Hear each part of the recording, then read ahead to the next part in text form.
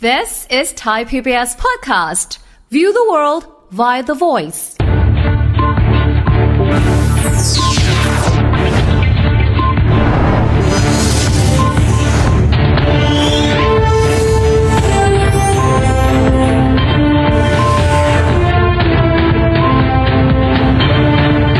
ไปไหนคนก็บ่นครับว่าตลาดหุ้นไทยทำเอาร่วงเอาร่วงเอา มันมีเหตุผลมีปัจจัยอะไรอย่างไร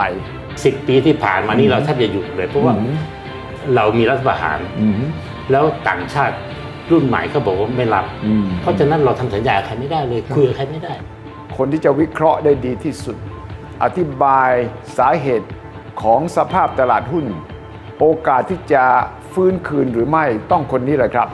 ดรนิเวศ เหมวชิรวรากร อะไรก็ตามที่ทำออกมา 6 เดือนปีหนึ่งอืมต่อจากเนี้ยอืมมันจะเป็นเรื่อง short term มันอาจจะช่วยพยุงหุ้นกลับมาได้แล้วจะมีความหวังต้องทำอะไรบ้างครับตกลงคุณนิเวศน์นี่ท้อแท้สิ้นหวังจริง ๆเหรอส่วนตัวเองเนี่ยไม่ถึงขนาดนั้น เพราะว่าอ่าที่ว่าท้อแท้สิ้นหวังเนี่ยต้องบอกเลยนะครับว่าเป็นตลาดไทยแต่ถ้าอย่างเดียวนะได้อย่างเดียวตลาดผมไปอีกตลาดหนึ่งอืมอืมอ่าตลาดเวียดนามอืมอืมอันนี้ ความหวังสูงมากลุงมากอ่า เพราะว่าทำไมมันไม่ทางไม่คนละคนละคนละทางเลยคนละทางเลยอ่คืออมช่วงนี้เขาเป็นช่วงที่เขากำลังขึ้นอืมอืมของเราเนี่ยมันก็ครับกำลังลงกำลังลงอืมทรงหรือลงอืมแต่ของเวียดนามตัวนี้ขึ้นแรงมากอืมอืมเอาของเราก่อนว่าทำไมมันถึงท้อแท้สิ้นหวัง โครงสร้างหลายๆอย่างของประเทศไทยเนี่ยมันเปลี่ยนไป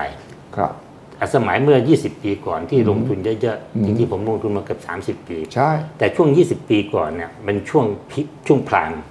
ทุกอย่างค่อนข้างดีครับนะอืมแต่ว่าตัวนี้มันมันจบละมันเริ่มเปลี่ยนโครงสร้างเปลี่ยนนะโครงสร้างเศรษฐกิจโครงสร้างอ่าตลาดหุ้นโครงสร้างประชากรทุกอย่างอ่าใช่จริงๆแล้วถ้าถ้ามองแบบที่เกี่ยวกับตลาดหุ้นจริงๆนะมีอยู่สามโครงสร้างครับ ที่เรียกว่ามีผลกระทบจริง ๆ อันแรกเลยก็คือ เรื่องของประชากร เขาจะวัดเลยว่าอายุของคนเฉลี่ยเนี่ย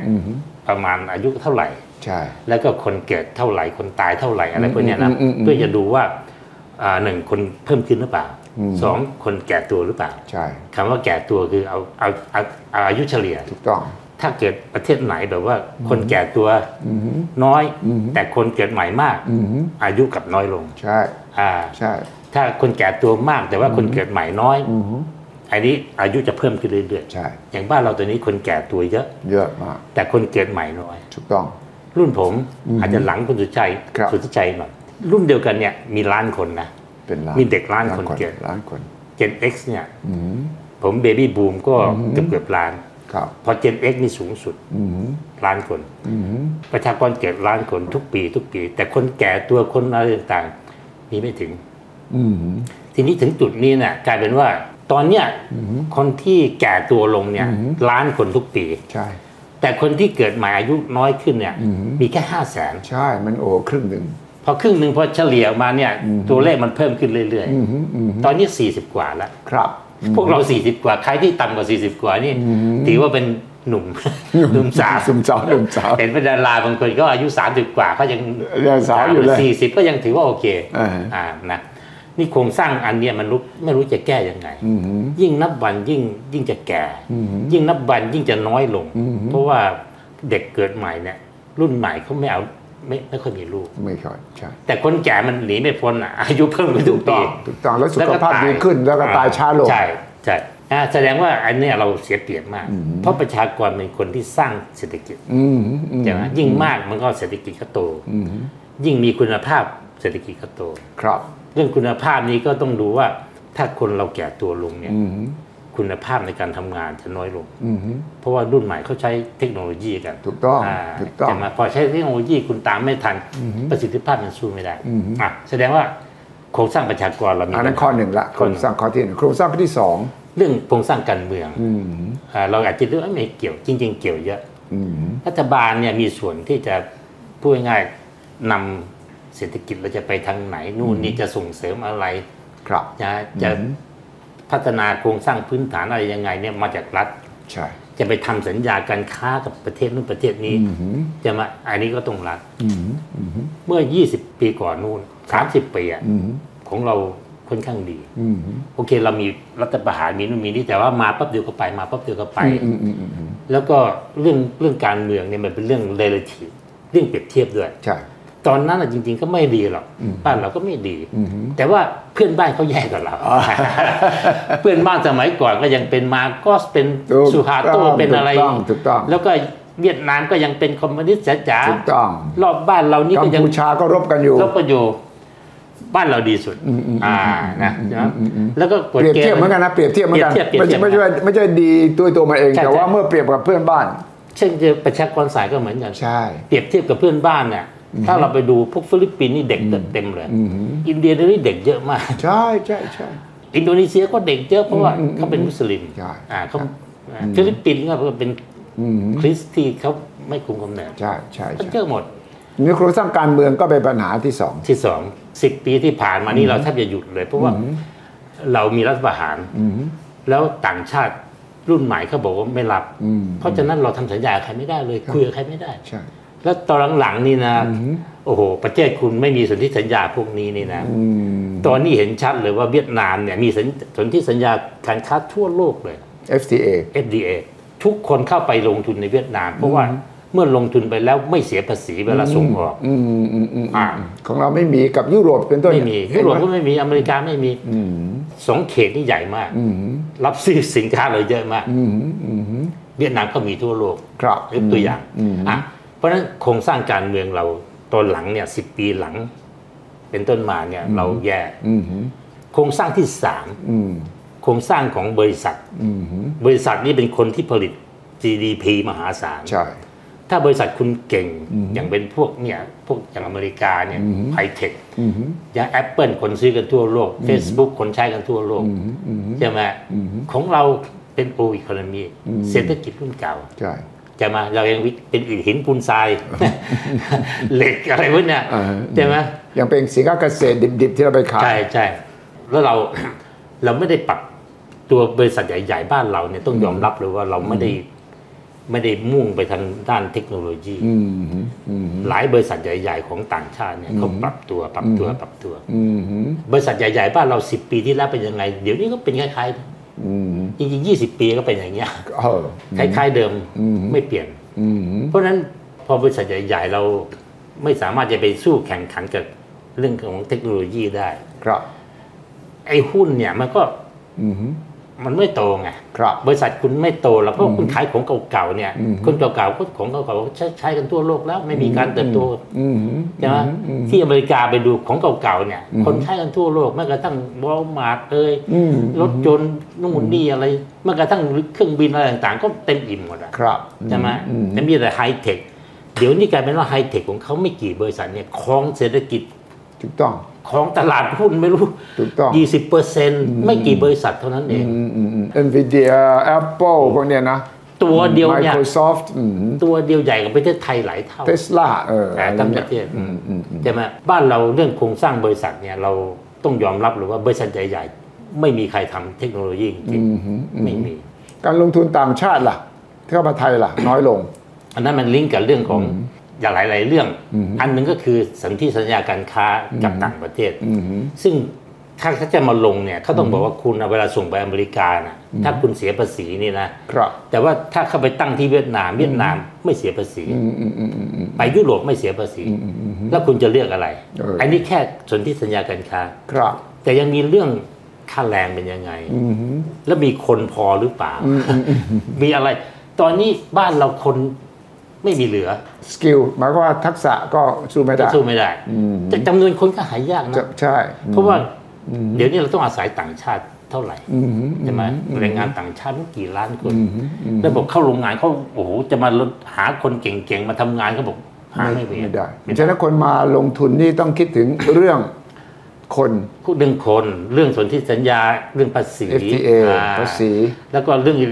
อีกสักร้อยแปดโดยเฉพาะ คนที่เป็นสกิลอืมมีความรู้มีความสามารถอืมอืมเราก็ยังขาดอืมเพราะฉะนั้นเขาก็ไม่มาอืมสมัยก่อนที่ญี่ปุ่นมาบ้านเราเนี่ยเมื่อ 30 ปีก่อนครับพวกรอบบ้านเราก็ไม่มีเหมือนกันอืมแต่เราดีกว่าใช่ใช่อ่าเราดีใช่ทุกอย่างนี่โดยเปรียบเทียบเท่านั้น ฉะนั้นโครงสร้างสามอย่างนี้ที่มีปัญหาเนี่ยประชากรเราทำอะไรมากไม่ได้หรใช่อกมันธรรมชาติอืมการเมืองกับเรื่องโครงสร้างบริษัทหลักแก้ได้ไหม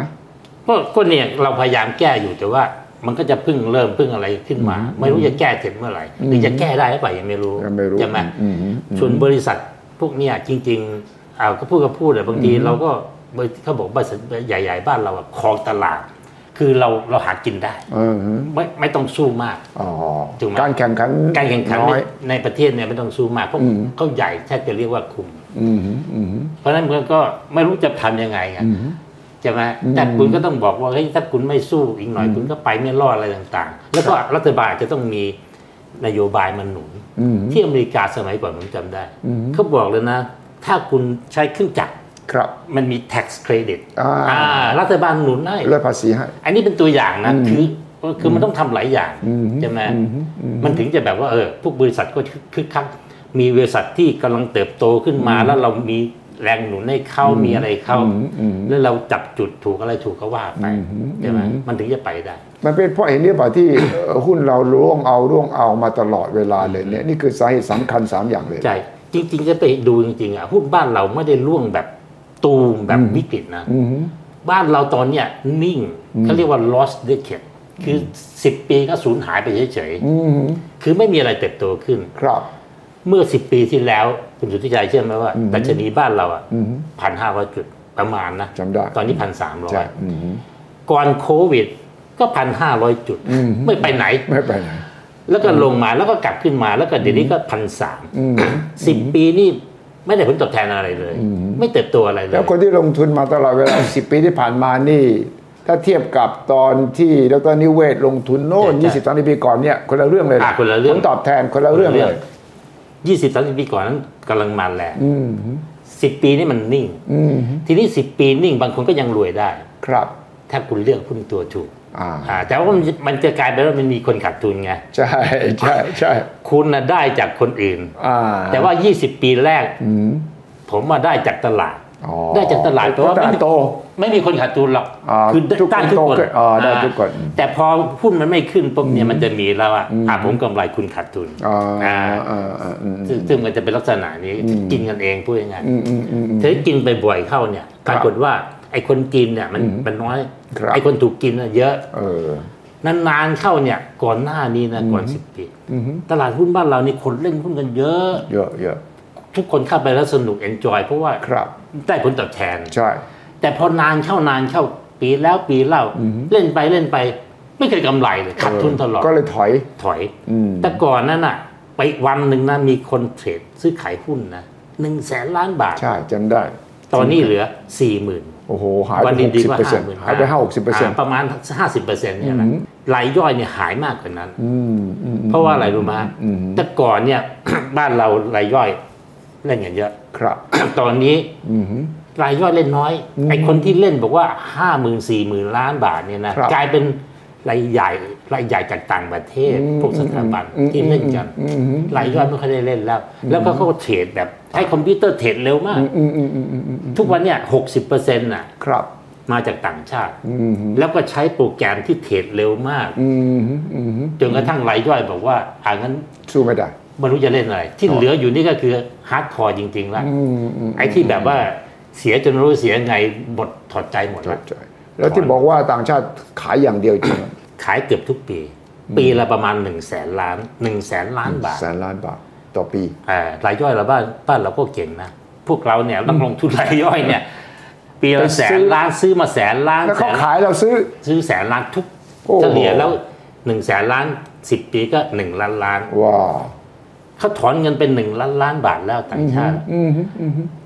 ปีนี้ยิ่งหนักหกครับเดือนที่ผ่านมาแค่หกเดือนน่ะอืมจ่ายศูนย์ไปแล้วหนึ่งแสนล้านบาท หมายความว่าออกไปแล้วหนึ่งแสนออกไปแล้วปีนี้คอารึ่จงจะปีเองอ่าจะกลายเป็นสองแสนโอ้ธรรมดาปีละแสนล้านครับอืมแต่ปีเนี้ยถ้ายังเป็นอย่างนี้ก็คือปีละสองแสนล้านอืมโอ้สองแสนล้านบาทเยอะไม่ใช่น้อยมากนะเยอะมาก เราคิดถึงบอกว่าเราจะมีโครงการกระตุ้นเศรษฐกิจห้าแสนล้านไอ้นี่ถอนไปสองแสนล้านนั้นเอาออกไปเลยน่าจะเฉยเลยอ่าทำไมเขาต้องขายล่ะต่างชาติอ่าทต่างชาติเนี่ยจริง ๆ พวกนี้เขาไม่ได้มีอะไรหรอกเขาก็บินไป ททั่วโลกอะอืมดูว่าที่ไหนดีอืมให้ผลตอบแทนดี เขาก็ไปอืมแต่มันไม่เหมือนคนไทย คนไทยจะออกไปนอกประเทศมันยุ่งใช่ต้องแลกเปลี่ยนเงินบาทขาดทุนนู่นนี่ไม่รู้จักอะไร แต่ต่างชาติพวกนี้เขาไปทั่วโลกอืมเขาไปมานานละอืมเขาก็ดูว่าอ๋อประเทศนี้กำลังรุ่งอืมแล้วก็ดูภาพยาวภาพยาวอืมว่าเฮ้ยอืมไม่ใช่เข้าเข้าออกออกใช่ไหมก็บอดูปุ๊บอะประเทศนี้อืมเข้า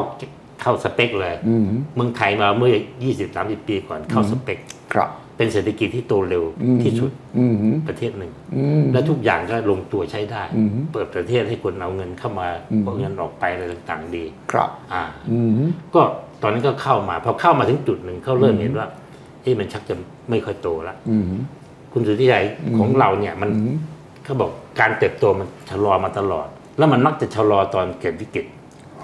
พอเกิดวิกฤตปี 40 ก่อนปีเกิดวิกฤตปี 40น่ะ7%ทุกปีครับปีละ7%เป็นสิบสิบปีแล้วใช่ใช่พอเกิดวิกฤตตูมอืมแย่ไปละอืมลดระดับลงมาเหลือ5%ต่อปีอืมผ่านไปอีก10ปี ตูมอีกเกิดวิกฤตปีซัพพลายมาอะไรต่างสปาอืมๆตอนนี้เหลือตอนนี้นะ10ปีสุดท้ายเนี่ยโตปีละ2%เฉอันลี่ยเจอโควิดมาด้วย หลังจากโควิดนี่ เหลือต่ำกว่า2%ต่ำกว่าสองละช่วงเนี้ยแต่ตั้งแต่ปี 08 มาเนี่ยก็โตแบบ10ปีที่แล้วเนี่ยอืมเฉลี่ย10ปีโตปีละ2%อืมซึ่งต่ำมากเทียบกับต่ำมากอาเซียนอื่น อาเซียนตอนนี้ยัง5%อืมอืมอืมอืมเฉลี่ยเฉลี่ยประมาณนี้เพราะฉะนั้นตอนนี้เราต่ำที่สุดแล้ว รัฐบาลบอกว่าเป็นเพราะว่าเราโตต่ำกว่าศักยภาพ ศักยภาพที่แท้จริงไทยควรจะโตได้เท่าไหร่ ผมเองผมเชื่อว่าศักยภาพของไทยตอนนี้มันลดมาเยอะอืมผมว่าไม่เกินสามหรอกเออเอ่ออหรือว่าอาจจะสองกว่าเองอืมอืมก็คือไม่ได้โตต่ำกว่าศักยภาพมากหรอกศักยภาพเราก็เพราะศักแค่ยภาพเราลดลงลดลงใช่ใช่ไม่ใช่ว่าโตต่ำกว่าศักยภาพศักยภาพมันลดลงอืมมันไม่สามารถที่จะกระตุ้นให้ขึ้นไปโตแบบเดิมๆได้อืมแต่บางคนก็บอกว่าไทยเรายังโตได้สามเปอร์เซ็นต์บางคนบอกสี่เปอร์เซ็นต์ห้ารัฐบาลบอกห้าห้า ไอ้ห้านี่ไม่มีทางผมพูดได้เหรอประชากรเราลดลงอืมเริ่มลดลงอ่าปีปีละหลายหมื่นคนแล้วตอนอืนี้มอืมอืมแล้วปีละหลายหมื่นคนเนี่ยอืมคุณจะต้องหาคนมาทำทำแทนเขาให้มันอ่าเราก็ใช้เทคโนโลยีสิอ่าใช้นี่ไง AI สิใช่อืมเนี่ยคือประเด็นตอนเนี่ยคือคือคุณต้องใช้เทคโนโลยีต้องใช้ AI เพื่อเพิ่มประสิทธิภาพ ใช่ ใช้คนเท่าเดิมแต่ว่าอืมทำได้มากขึ้นถูกต้อง คนน้อยลงนิดนึง แต่ว่าทำได้มากขึ้นอืมแต่จะมากแค่แบบว่าประเภท5%เนี่ยอืมมันแทบเป็นไปไม่ได้อืมหรือที่ใช่อืมอืมต่อให้คุณใช้เครื่องจักรเพิ่มอะไร เพิ่มก็เป็นไปได้ได้ยาก แล้วก็สองเรื่อง AI เราก็ไม่ได้เก่งขนาดนั้นด้วย ถูกต้อง แล้วผมถามแค่เนี้ยอืม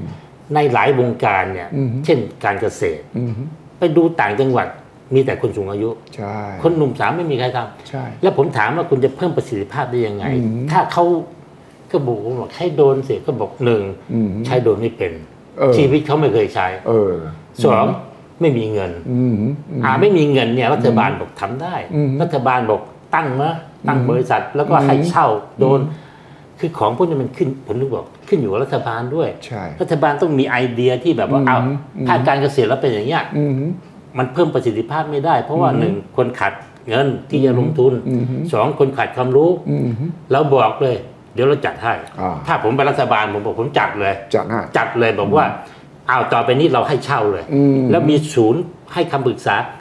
คือของพวกเนี้ยคุณสุทธิชัยครับถึงจะ สูงอายุนะอืมคุณสอนสักพักเขาก็เป็นถูกต้องอย่างสมมติว่าเราสอนอย่างพวกไลน์เลย สมัยก่อนก็บอกเฮ้ยยากทำไมใช่เดี๋ยวนี้ทำเป็นหมดแล้วเดี๋ยวนี้คนเดี๋ยวแก่จะโอคนนเงิแก่นคนเฒ่าทำได้หมดแล้วถูกต้อง QR code ใช้ได้หมดแล้วอ่าเออเออแต่ว่าต่างจังหวัดเนี่ยสมมติว่าการเกษตรเนี่ยอืมเราบอกว่าเฮ้ยเรามีนะ เรามีโปรแกรมเรามีอะไรเดี๋ยวคุณใช้โดรน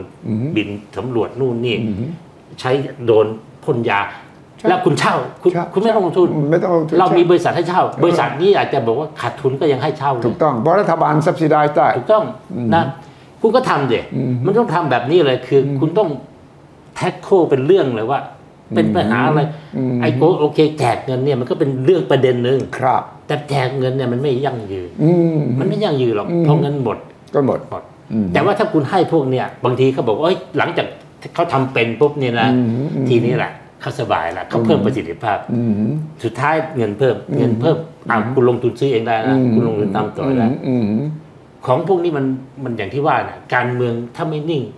รัฐบาลบอกคุยเรื่องนี้เรื่องยาว ยาวใช่กว่าจะทำได้แล้วเอาไว้ก่อนเอาไว้ก่อนแล้วก็เลือกตั้งคราวหน้านี่เราต้องเอาอะไรที่มาคนชอบก่อนใช่ไหมใช่ใช่แจกเงินก่อนใช่เพราะไอ้นี่มันมันได้คะแนนเสียงชัดอืมๆไอ้ส่วนไอ้นี่อะอืมยากอีกนานอืมแต่ต้องทำไง ประเด็นมันก็เลยเมืองไทยมันก็แบบตัวนี้มันแบบแต่ละอันเนี่ยไม่รู้จะขยับยังไงอ้าวรัฐบาลบอกอ้าวให้ประชุมนะหุ้นตกเนี่ยเรียกประชุมหามาตรการกระตุ้นตลาดหุ้นมีมาที่ผ่านมาเราทำมาตลอดใช่ไหมตั้งกองทุนพยุงหุ้นไม่อยากสิบช่วยปีไหมสิบปีที่ผ่านมาเราไม่เคยทำเรามีแต่ลดเออไอ้นี่ต้องยอมรับเหมือนกันว่าเออเราไปลดเราไปเลิกกองทุนอ่า IMF LTF อะไรของเขาเนี่ยอ่าอ่า ILTF พอเลิกปุ๊บเห็นชัดเลยว่า ทุกปีเนี่ย LTF เข้ามาหกเจ็ดหมื่นสมมติอย่างนี้นะ ใช่ บางทีเป็นแสนผมไม่แน่ใจ แต่ครับแต่ไม่หลายหมื่นแน่นอนต่างชาติขายปีละแสน อืมอืมอย่างน้อยเรามี LTF มาหกหมื่นใช่ ขายแค่สี่หมื่นอืม แล้วก็พอสู้ไหวถูกไหมอืมแต่พอตัดทิ้งปุ๊บมันมีแรงกระตุ้น ไม่มีแรงไม่มีแรงจูงซื้อ ใจจูงเอาไม่มีแรงซื้อ ไม่มีแรงซื้อจูงใจ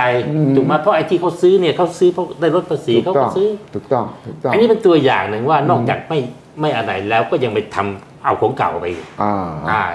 รัฐบาลใหม่มาเขาก็ต้องเริ่มคิดว่าอย่างน้อยเอาของเก่ากลับมาก่อนได้ไหมเออเออนักลงทุนก็เรียกร้องไงเอาของเก่ากลับมาก่อนแต่นี่มาสิบเดือนแล้วยังไม่ทำนะรัฐบาลแต่เข้าใจตไหมลาดหุ้นนี่มีกรรมการมีบอร์ดนี่เสนอได้นี่นะ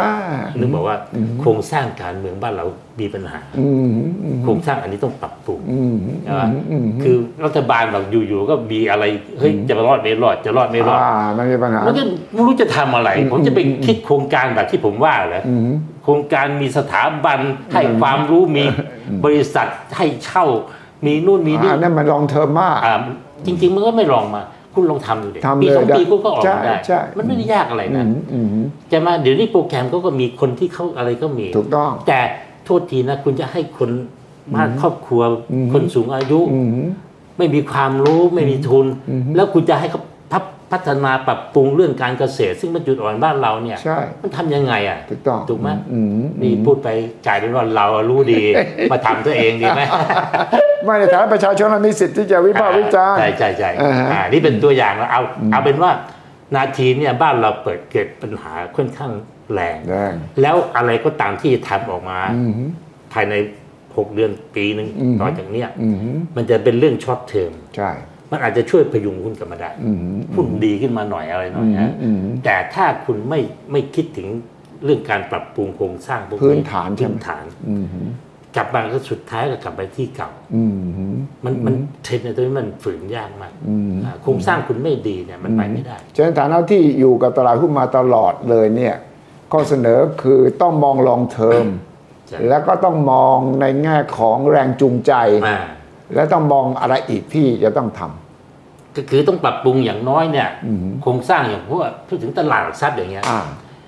คุณก็ต้องมีระบบที่แบบว่า โอ้โหทุกคนเข้ามาแล้วอืมเห็นถึงความโปร่งใสอืมเห็นถึง governance อืมไม่มีใครโกง ไม่มีใคร ให้ข้อมูลหลอกลวงอืมอืมอะไรต่างๆ ทุกวันนี้บางทีเออทุกวันนี้เกิดในหลายคดีที่อื้อฉาวมากเลยเนี่ยนั่นน่ะมันเป็นเพราะอะไรเนี่ยล่าสุด STARK อะไรเนี่ยใช่ไหมเกิดไม่รู้กี่เคสเออเออบังเอิญเป็นเคสดังเคสดัง แต่ก่อนก็มีเคสมอเคสนู่นมอเคสไอ้ไอ้พวกนี้มันเกิดขึ้นได้ยังไงมีเยเนี่ยอะเอ้ยทำไมตลาดหุ้นกลไกนี่จับไม่ได้เหรอมันมันชัดถึงขนาดว่าบริษัทที่เป็นผู้ตรวจบัญชีนี่ท็อปโฟบิ๊กโฟเลยนะ แล้วก็มีขั้นมีตอนตรวจสอบตลาดอ่าหลักทรัพย์ไปของข้อมูลหายไปไม่ส่งเอ่องบอะไรเนี่ยนะทำไมมันกลไกนี่มันเอาไม่อยู่อะ คือพวกเนี้ยจริง ๆ มันลิงก์กับกฎหมายใหญ่นะอืมบ้านเราเนี่ยอืมบ้านเราไม่ค่อยมีแยกออกมาว่าเฮ้ยไอ้นี่กฎหมายเกี่ยวกับหลักทรัพย์อืมแล้วจับแล้วขึ้นศาลเร็ว ตัดสินเร็วอะไรนไม่มี อันนี้ก็กฎหมายอาญาปกติกฎหมายแพ่งปกติ ใช้เวลาเป็นสิบปีบางทีเออเออเออคนลืมหมดใช่ แล้วก็ กฎหมายก็เป็นแบบลิงกับลิงกับอะไรลิงกับทั่วๆไปอะอืมแล้วกฎหมาย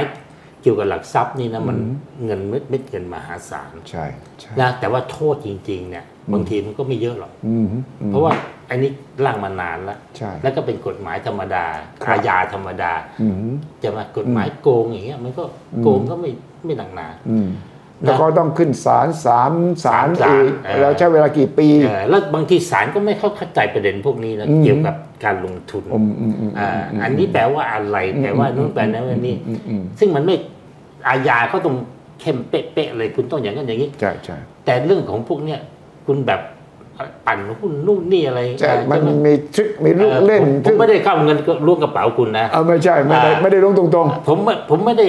แบบบาให้ให้คุณมาเอาเงินมา หรือผมไปเอาปืนจี้นะไม่ใช่คุณน่ะมาทำเอง คุณมาขายเองซื้อเองให้ผมเออเออนี่เออเออถูกไหมมันใช่มันมันอะไรที่ ต้องอาจจะต้องมาปรับปรุงแล้วก็เรื่องความรวดเร็วอีกอย่างอืมอืมอืมอืมที่อเมริกาเนี่ยปีเดียวตัดสินจำคุกเลยเออจำคุกหนักเลยนะใช่ครับเวียดนามนี่เพิ่งล่าสุดเนี่ยโอ้โหโทษหนักประหารโอ้โหโทษประหารประหารชีวิตแต่เลยหนักไปนะหใช่นักไปหนักไปหนักไปอย่างนี้คนกลัวเออฮะาแต่ว่าเออนี่ยกตัวอย่างให้ฟังที่อเมริกาเร็วมากแล้วเขาตัดสิน คดีแรงมากนะแรงติดคุกเป็นสิบปียี่สิบปีเลยนะใช่ใช่ไอ้ที่โกงเรื่องอะไรบิตคงบิตคอยเลยโดนเลยนะหนักหนักแล้วทันทีเร็วมากเลยบอกเพิ่งเกิดเรื่องอืมอืมให้ไม่กี่เดือนติดคุกแล้วใช่ อ่า แต่ของเราไปดูเนี่ยอืมนึกไม่ออกว่าใครเคยติดคุกมันไม่นานมีมาก น้อยมาก น้อยมากอืมมันอาจจะติดก็เขาไม่ไม่รู้นะเพราะมันนานนะเรื่องมันนานไปรู้สิบปียังไม่ตัดใช่สินเลยฉะนั้นเอ่อ คดีต่างๆ เหล่านี้มันทำให้คนกลัวตลาดใช่ไหมมันไม่อยากไม่ใช่เข้าไปลงทุนใช่ไหมคือคนโกงเขาก็กล้าไงเพราะว่าคดีมันง่ายแล้วใช่ก็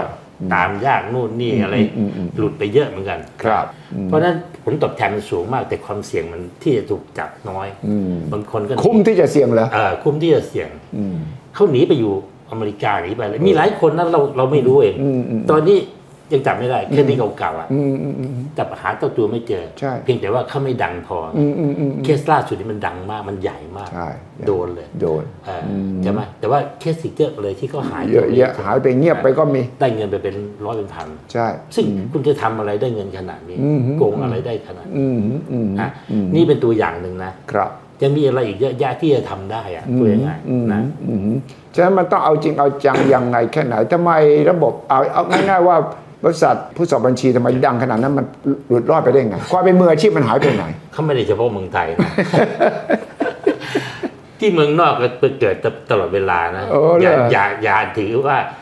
เป็นบิ๊กโฟแล้วคุณจะเชื่อใจได้ร้อยเปอร์เซ็นต์เออเพราะไอ้เรื่องนี้เป็นเรื่องแต่ละบุคคลมาผมนึกบอกว่าถ้าเงินเยอะพอเนี่ยอืมคนก็ก็พร้อมจะโกงโอ้ถูกไหมอ่าใช่ใช่อ่าเพราะฉะนั้นก็ต้องไปอะไรที่ระบบต้องดีต้องอะไรอืต่างมอืมๆแล้วก็ กฎหมายต้องเร็วถูกต้องจัดการต้องเร็ว แล้วทุกวันนี้กฎหมายพอไหมกฎหมายตามไม่ทันอืมอืมแล้วก็กรตตามทันไหมระบบกรตบางทีเนี่ยเขาเองเขาบอกว่าเขาไม่มีปัญหา เช่นเขาเคยพูดเขาเคยเสนอบอกว่าครับเขาอยากจะสอบสวนเองเลยอืม ฟ้องเองเลยฟ้องเองสอบไม่สวได้นเองไม่ได้ ไม่ต้องให้ DSI ไม่ต้องให้เออเบอเบอตำรวจอะไรเงี้ยอายการนู่นนี่อืมคุณต้องส่งเรื่องกว่าจะผ่านตำรวจได้อ๋อบางทีตำรวจคุยไม่รู้เรื่องใช่เพราะเขาไม่ค่อยเข้าใจ แล้วตำรวจไปก็ไม่ได้เรียนมาทางนี้เออใช่ไหมที่แต่ไปสอบ DSI ไปอายการอะไรนี่มันอืมกว่าจะได้ฟ้องนี่มันรู้กี่ปีโอ้ถูกไหมเออแล้วก็ไม่ค่อยเข้าใจด้วย เวลาไปทำเรื่องมันก็ไม่แน่นหนาอืมศาลเองก็ไม่ค่อยเข้าใจอืมพูดถึงอืมว่าอันนี้เป็นของใหม่ ผมเข้าใจนะว่าเขาเคยเสนออยากให้อเสยากนอตัวเองตั้งตั้งทำเองเลยคนก็อ่าทำเองเขาตรวจสอบเสร็จเขามีฝ่ายฝ่ายกฎหมายฟ้องเลยอืมอืมอืมอย่างนั้นจะเร็วมากเลยใช่เพราะว่าใช่ก็คุณคนอยู่ในหน่วยงานเดียวกันคุณจัดการเสร็จคุณยื่นปุ๊บครับถ้าถ้าใช่ฟ้องเลยอืมใช่ไหมแล้วก็ไปเจอกันในศาลเลยอะไรเลยอืมก็ดีนะใช่แต่เขาก็ยังมีปัญหาว่ากฎหมายก็ต้องแก้หลายอย่างโอ้เยอะผมว่าซึ่งขั้นตอนเยอะซึ่งแต่ยากซึ่งยากที่จะไปแก้พูดตรงๆนะรัฐบาลเนี่ยเขาดูว่าตลาดหุ้นคนส่วนน้อยอ่า กฎหมายคุณนะไม่ค่อยได้ priority หรอกอ๋อที่จะแบบว่ายื่นยื่นยื่นเดี๋ยวเข้าอืมอืมอืมต้องเข้าคิวเข้าคิว สุดท้ายไม่รัฐบาลไม่อยู่แล้วไปเลยไม่ได้ไปเปลี่ยนเปลี่ยนรัฐบาลใหม่มันก็เริ่มนับหนึ่งใหม่เออเออใช่ใช่แต่แต่ละรัฐบาลก็มองตลาดหุ้นอยู่เหมือนกันอืมบางรัฐบาลเขา concern อย่างรัฐบาลนี้ต้องถือว่าเขา concern concern หลายคนก็มาจากวงการตลาดหุ้นใช่ใช่ใช่ใช่แต่พูดตามตรงนะ โลกสมัยใหม่เนี่ยตลาดหุ้นเนี่ยอืมคือหัวใจของเศรษฐกิจอืมอืมอืมอืมถ้าเป็นรุ่นเก่าอะเขาจะบอกว่าตลาดหุ้นเขาเขาตลาดธุรกิจตลาดเป็นกระบวนการพนันเออต่างๆนานั่นนาน่ะอ่าอืมอืมอันเนี้ยไม่ผิดอืมอืมแต่ตอนนี้เขาได้ได้รัฐบาลที่เขาเข้าใจอืมแต่เขาก็เพิ่งมาแล้วก็ยังไม่รู้จะไปยังไงนั่นแหละก็มีปัญหาอื่นตามมาอ่าฉะนั้นเป็นเหตุผลที่ ดรนิเวศน์เลิกลงทุนในตลาดหุ้นไทยเลยเหรอ กว่า 60%อืมยังอยู่ในหุ้นไทย ตอนนี้นะอ่าที่ไปที่ไปต่างประเทศเนี่ยเดิมทีก็ 20 กว่าอ่าแต่ตอนนี้มันขึ้นมาเยอะเพราะกลายเป็น30 กว่าอ๋อในในต่างประเทศก็อาจจะเพิ่มแต่ว่าในไทยอะในไทยไม่หรอกในไทยมีแต่จะลดลงมีแต่จะถ้าเป็นยังเป็นอย่างนี้อยู่เราก็ต้องลดลงอีก เพราะว่าถ้ามันไปไม่ไหวจริงๆเนี่ยสิปีมันไม่ได้ผลตอบแทนแล้วคุณจะลงเพื่ออะไรใช่อนาคตจะมองไม่เห็นอ่าแต่ผมจะไปต่างประเทศเพิ่มแต่ว่าจะไปแบบ ไปอีกแบบหนึ่งคือไปผ่านเขาเรียกว่าเอ่อเครื่องมืออที่เขาเรียกว่า DR บ้างอะไรบ้าง DR มาอืมเออมันคล้ายๆหุ้นเนี่ยครับแต่ว่ามันจะเป็นเหมือนกับโลคอลมันก็หุ้นในประเทศซื้อขายในประเทศมันจะได้ไม่เสียภาษีอ๋ออ่าอ่าอืมแต่ยังไม่ได้ไปกำลังคิดอยู่กำลังพยายามทำอยู่เริ่มใช้เวลาอืมนี่ถ้ามีเวลาคุยกันเรื่องไปลงทุนต่างประเทศก็เป็นอีกเรื่องหนึงที่น่าสนใจนะครับ แต่วันนี้ต้องการเน้นให้ดรนิเวศน์วิเคราะห์ว่าทำไมจึง ขึ้นคำว่าสิ้นหวังท้อแท้ในตลาดหุ้นไทย นี่คือเหตุผลที่ผมคิดว่าสำคัญ แล้วก็ฝากผู้ที่เกี่ยวข้องรัฐบาลนำไปแก้ไขตามที่ดรนิเวศน์นำเสนอ นี่เชิญไปเป็นที่ปรึกษาได้เลยนะครับเรื่องตลาดหุ้นนะครับ วันนี้ขอบคุณมากครับครับสวัสดีครับสวัสดีครับ ผมว่าชัดเจนนะครับ ที่ดรนิเวศน์วิเคราะห์ให้ฟัง เพราะตลาดหุ้นกลายเป็นเครื่องมือสัญลักษณ์ที่สำคัญของเศรษฐกิจของประเทศอย่างปฏิเสธไม่ได้เลยครับ รายการคุยนอกกรอบทางไทย PBS สัมภาษณ์พูดคุยกับผู้คนที่อยู่ในทุกวงการ ที่เราจะเข้าใจถึงสถานการณ์ในประเทศต่างประเทศเศรษฐกิจการเมือง และสังคมรอบด้านครับ